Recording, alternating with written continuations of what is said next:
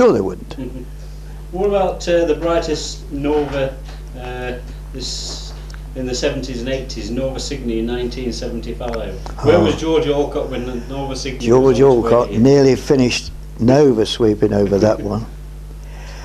I observed that night in a perfect sky, also this time of year, almost within a day or two, isn't Yes. it, of this time of year? And I observed the whole sky as I could see it, and I returned to Cygnus at about a quarter past twelve and had another look at Cygnus and didn't see anything. The next night, I was told that a bright nova had been found, a second magnitude nova had been found in Cygnus.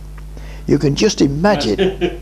Here was I looking at stars of eighth and ninth magnitude in, in that area, and it was only by chance, and as far as I know, the only nova that's ever been photographed like that. horizon. It was photographed time after time by an American astronomer. Yeah.